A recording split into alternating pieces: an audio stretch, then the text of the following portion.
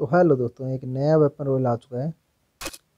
आप लोगों ने देखा होगा जैसे कि इसके अंदर इसकी काबिलियत ये है कि डबल रेंज और single damage reload speed minus तो इसके अंदर रेट ऑफ़ फायर या फिर डबल डैमेज होता या डबल रेट ऑफ़ फायर होता तो तो समझ में भी आता है भाई। निकालने को तो मैं निकाल लूँ। नाइन्टी है, सिर्फ़ दस का मारना है, मेरे पास थर्टी एट है पैसे भी। आठ वेपन रॉयल लगेंगे मेरे थर्टी वापस हो जाएँगे मेरे, दो और मिल जाएँगे मुझे पाँच के ऊपर और दस के ऊपर। पर रियलिटी में मेन फोकस किस चीज़ पे है? या तो डैमेज ज़्यादा हो या रेट ऑफ़ फायर ही ज़्यादा हो भाई। अब भाई इसका समझ नहीं आता। देखो डबल रेट ऑफ़ फायर तो पड़ा है मेरे पास, है ना? और सिंगल रेट ऑफ़ फायर भी पड़ा है डबल एक्यूरेसी भी पड़ा है। डैमेज का क्या करना है भाई? सिंगल डैमेज है, वैसे भी सिंगल डैमेज डबल डैमेज होता तो भी सोचता मैं, यार यार कि चलो कर लेते हैं भाई। अब डबल रेट ऑफ़ फायर ही सही है यार इसका तो क्योंकि डैमेज का तो कोई मतलब ही नहीं है। डबल रेंज रेंज तो भाई इसकी है, उतनी है भाई। जितनी रेंज है, उतनी रेंज है।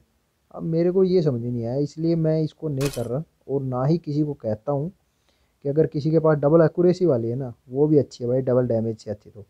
तो इन्होंने ट्वेंटी टू डेज़ ख़राब कर दिए हमारे सिर्फ़। तो आप लोग यहाँ पे देख पा रहे होंगे, ग्यारह दिन और बचे हैं, आज हो चुकी है चार तारीख। करीबन पंद्रह तारीख के करीबन आएगा। तो मैंने वीडियो सिर्फ़ इसलिए बता रहा हूँ। भाई, मैं इसलिए बनाई, मैं एक परसेंट नहीं बनाना चाहता था आज वीडियो, क्योंकि मेरे को पता था कि ये टट्टी है।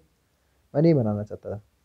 मैंने इसलिए बनाई कि यार, ताकि मैं लोगों को बता दूँ, अपने वेपन ऑयल बचा के रखें, क्योंकि भाई, आगे भी बहुत सारी चीज़ें मस्त मस्त आने वाली है। और मेन पंगा इस चीज़ का भी होता है काफ़ी बार। जैसे आप लोगों को मैं भी दिखा देता हूँ। कि ये देखो ट्वेंटी सेवन डेज़ के लिए बचे हुए हैं। अभी इससे कम तो कोई है नहीं हमारे पास। ये भी ट्वेंटी सेवन ये भी ट्वेंटी सेवन तो बाईस दिन में और नया आएगा। थोड़ा और इंतज़ार कर लो यार। वेस्ट मत करना। अब लोगों को यही कहूँगा मैं कि वेस्ट मत करना। आपके पास में कोई भी स्किन नहीं है तो निकाल सकते हो।